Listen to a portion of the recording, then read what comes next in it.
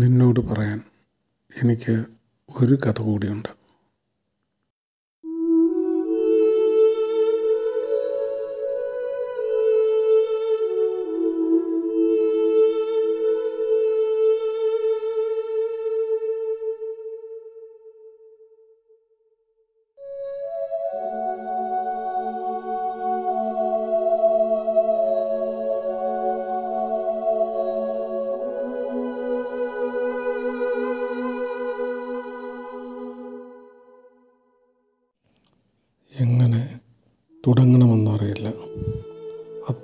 വശ്യമായ ഒരു ഓർമ്മ എന്നെ വലയ്ക്കുകയാണ്. ഡിസംബർ ആദ്യമാണ് ഞാൻ ആ പുസ്തകം വാങ്ങിയത്. നിരുതയുടെ ഓർമ്മക്കുറിപ്പുകൾ. വിവർത്തനം ചെയ്തിരിക്കുന്നത് ഗുരു നിത്യ ചൈതന്യ എഴുതി. അത്ഭുതം കൊണ്ട് ഇടയ്ക്കൊക്കെ വായന നിർത്തിവെക്കേണ്ടി വന്നു നിരൂതയുടെ നാടായ ചിലിയിലെ കാടുകളെക്കുറിച്ച് പറഞ്ഞുകൊണ്ടാണ് തുടക്കം. ഞാനത് വിശദീകരിച്ചിട്ട് കാര്യമില്ല. പകരം പുസ്തകത്തിൽ നിന്ന് രണ്ട് മൂന്ന് വാചകങ്ങൾ വായിക്കാം. വനത്തിന്റെ രക്തധമനികൾ പോലെ അവിടെ അവിടെ ചുവപ്പിറ്റുന്ന കോപ്പിഹ്യൂ പൂക്കൾ. ഉളി ചാണ്ടുന്നത് പോലെ പാഞ്ഞുപോയ ഒരു കുറുനരി. അവൻ പാഞ്ഞു കയറിയ കാട്ടിൽ ഒരു നിമിഷത്തേക്ക് കാണപ്പെട്ട നടുക്കം. മൗന നിശ്ചലതയാണ് കാടിന്റെ നിയമം. എന്നിട്ടും ദൂരത്തെവിടെയോ പേടിച്ചരണ്ടുപോയ ഒരു മൃഗം പുറപ്പെടുവിക്കുന്ന ധീനരോധനം. പെട്ടെന്ന് കാട് മൗനം ഭഞ്ചിച്ചതുപോലെ ഒരു ചിറകടി. തലയ്ക്ക് മീതെ പറന്നുപോയ ഒരു കൂറ്റൻ പക്ഷിയാണത്. പിന്നെയും കൊടുങ്കാറ്റ് വരുന്നതുപോലെ ഒരു ഇരമ്പൽ അത് കടുത്ത മൗനത്തിലമരുന്നു ഇനിയും അടുത്ത കാറ്റ് വീശുന്നതുവരെ വനം മൗനസമാധിയിലാണ്. കാറ്റ് വന്നാൽ ഭൂമിയുടെ സംഗീതം ഒന്നായി ഉയർത്തെഴുന്നേൽക്കുന്നുവെന്ന് തോന്നും. ഈ ചിലിയൻ കാടുകൾ വെറും കാടുകളല്ല. ഈ കാടുകളെ അറിഞ്ഞിട്ടില്ലാത്തവർ ഭൂമി എന്ന ഗ്രഹത്തെ ഇനിയും നല്ലതുപോലെ കണ്ടിട്ടില്ലെന്ന് വേണം പറയുവാൻ.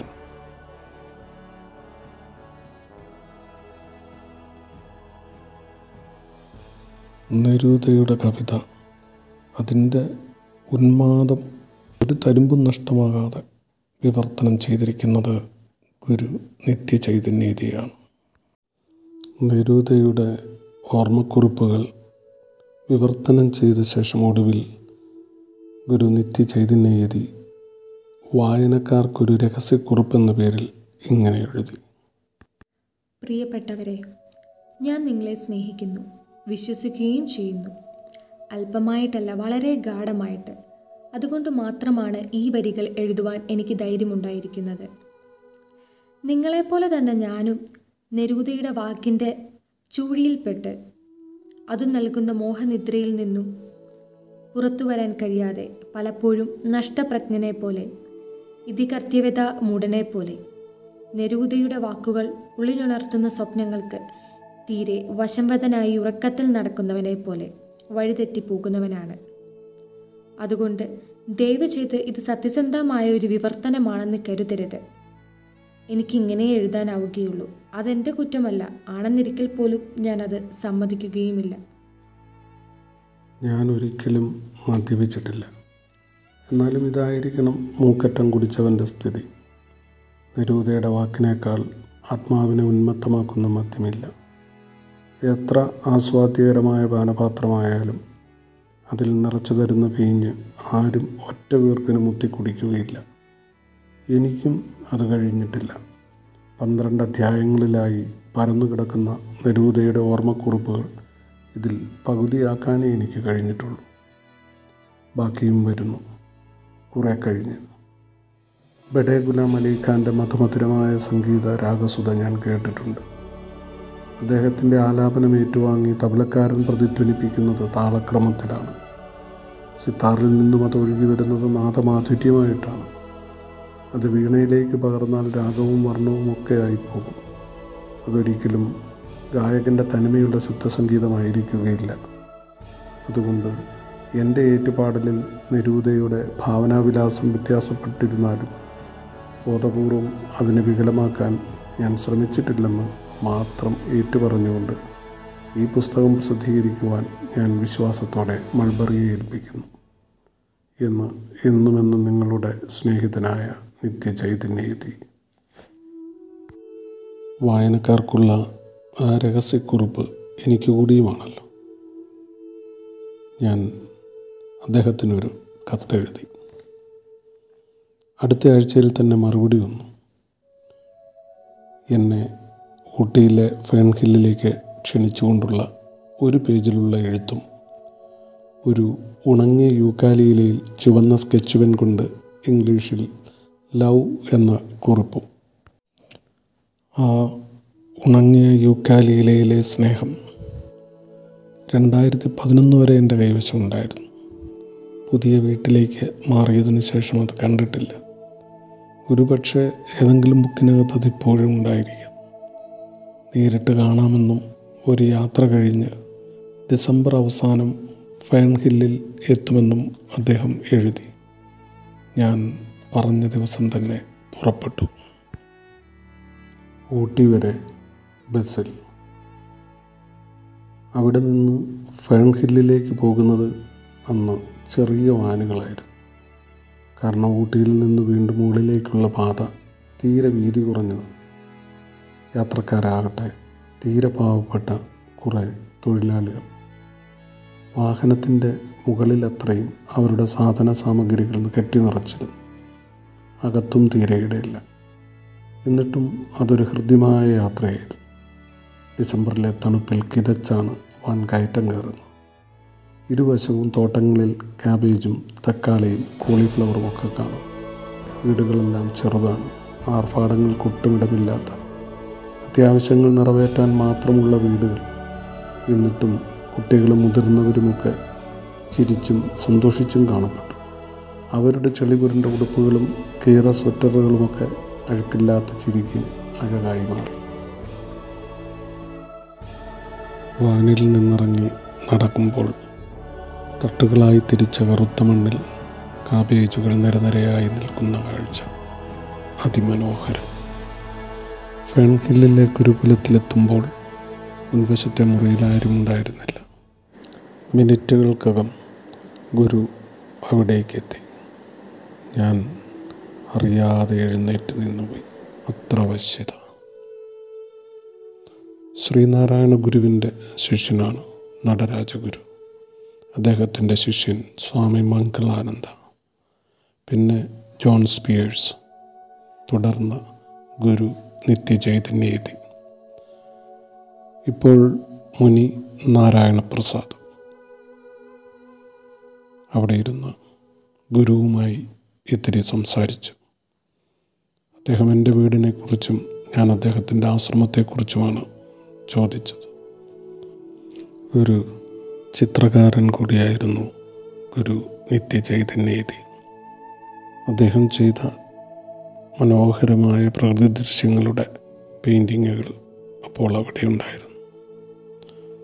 വൈകുന്നേരം ആശ്രമത്തിന് മുകൾ ഭാഗത്തായുള്ള നാട്ടുവഴിയിലൂടെ അദ്ദേഹം നടക്കാനിറങ്ങി. എന്നെയും വിളിച്ചു. മുണ്ടും സ്വെറ്ററും കൂടാതെ ഒരു കമ്പിളി തൊപ്പിയും അദ്ദേഹം ധരിച്ചിരുന്നു. ഒപ്പം നടക്കുമ്പോൾ അദ്ദേഹം പറഞ്ഞത് ഫേൺഹില്ലിലെ സാധാരണക്കാരായ മനുഷ്യരെക്കുറിച്ചായിരുന്നു. അവരിൽ പലരും തങ്ങളുടെ ഇത്തിരി കൃഷിയുടെ ഫലങ്ങളിൽ നിന്ന് ഒരു പങ്ക് ആശ്രമത്തിന് സമ്മാനിക്കുമായിരുന്നു. വർത്തമാനം പറഞ്ഞു നടക്കുന്നതിനിടെ എതിരെ വന്ന ഗ്രാമവാസികൾ ഭവ്യതയോടെ നിന്നു. കുശലം ചോദിച്ചു. അവരുടെ കുട്ടികളാകട്ടെ ഒരു തടസ്സവുമില്ലാതെ ഓടി വന്ന് ഗുരുവിന്റെ കൈകളിൽ തൂങ്ങി നടന്നു. ഗുരു ആകട്ടെ. വേഷം കൊണ്ടും ഭാവം കൊണ്ടും ഒരു സാന്റാക്ലോസിനെ പോലെ മൂടൽ മഞ്ഞിലൂടെ നടന്നു. യുക്കാലി മരങ്ങൾക്കിടയിലൂടെ ഗുരു നിത്യചൈതന്യതിക്കൊപ്പമുള്ള ആ സായാഹ്ന സവാരി അസാധാരണമായ ആനന്ദം നൽകി. സന്ധ്യയ്ക്ക് അദ്ദേഹത്തിന്റെ മുറിയിൽ മേശയ്ക്ക് അഭിമുഖമായിരുന്നു കൊണ്ട് സംസാരിക്കാനും അവസരമുണ്ടായി. വിശുദ്ധ ഗ്രന്ഥങ്ങളെക്കുറിച്ചുള്ള അദ്ദേഹത്തിന്റെ പാണ്ഡിത്യത്തിന് മുന്നിൽ ഞാൻ വെറുതെ ഇരുന്നു ബൈബിളിൽ അവൻ എന്ന് പറയുന്ന പരമ്പൊരുളിന്റെ ആഴമറിയാൻ ഉപനിഷത്തുക്കളും സഹായിക്കുമെന്ന് അദ്ദേഹം പറഞ്ഞു. അന്നു രാത്രിയിൽ ഗുരുകുലത്തിലാണ് ഞാൻ ഉറങ്ങിയത്. അവിടെ അദ്ദേഹത്തോടൊപ്പം ഉണ്ടായിരുന്നവരിൽ വിദേശികളും സ്വദേശികളും ഉണ്ടായിരുന്നു. അക്ബർ എന്ന യുവാവിനൊപ്പം അത്താഴമൊരുക്കാൻ ഞാനും കൂടി. ഉറങ്ങും മുമ്പ് ഏതോ ഒരു പുസ്തകത്തിന്റെ അവതാരിക ഗുരുവിന് എഴുതാനുണ്ടായിരുന്നു. അദ്ദേഹം ഒരു ചാരുകസേരയിലിരുന്നു കൊണ്ട് പറഞ്ഞ് ശിഷ്യന്മാരിലൊരാൾ എഴുതിക്കൊണ്ടിരുന്നു. മറ്റുള്ളവർ കാതു കൂർപ്പിച്ചു കേട്ടുകൊണ്ടിരുന്നു. ഇടയ്ക്ക് റഫറൻസിനായി ചില പുസ്തകങ്ങൾ എടുപ്പിച്ചു. ആശ്രമത്തിന്റെ ചുവരുകളോട് ചേർന്ന് മിക്കയിടത്തും പുസ്തക ഷെൽഫുകൾ വെച്ചിരുന്നു. എഴുതുകയും വായിക്കുകയും ചെയ്യുന്നതിനിടെ റഫറൻസിനായി താൻ ഉദ്ദേശിക്കുന്ന പുസ്തകങ്ങൾ എടുക്കാൻ പറയുമ്പോൾ അത് ഷെൽഫിൽ എവിടെ ഉണ്ടാകുമെന്നും അദ്ദേഹം കൃത്യമായി പറഞ്ഞു. അന്ന് വായിക്കാനെടുത്ത പുസ്തകങ്ങളിലൊന്ന് വിശുദ്ധ യോഹന്നാന്റെ സുവിശേഷമോ സെയിന്റ് ജോൺ ഓഫ് ക്രോസിന്റെ പുസ്തകമോ ആയിരുന്നു. കൃത്യമായി ഓർക്കുന്നില്ല. അതിന്റെ അധ്യായവും വാക്യങ്ങളും വരെ അദ്ദേഹം കൃത്യമായി പറഞ്ഞു കൊടുത്തു. അവതാരിക എഴുത്ത്. ഒരു മണിക്കൂറിലേറെ നീണ്ടു നിന്നു. ശിഷ്യരെ പഠിപ്പിക്കുന്നതിന്റെ ഭാഗം കൂടിയാണ് അതൊക്കെ എന്ന് മനസ്സിലായി.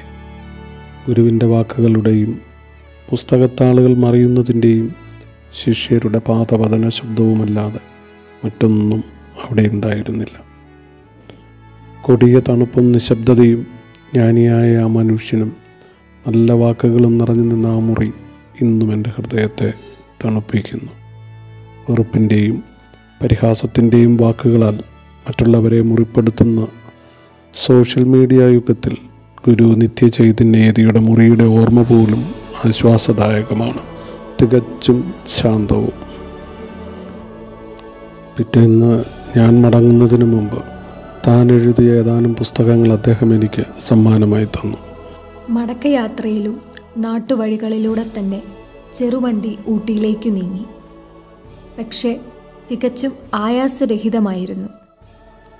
കയറ്റങ്ങളുടെ വലിച്ചിലോ എഞ്ചിനിൽ നിന്നുള്ള കട്ടിയായ പുകയോ തീരെയില്ല.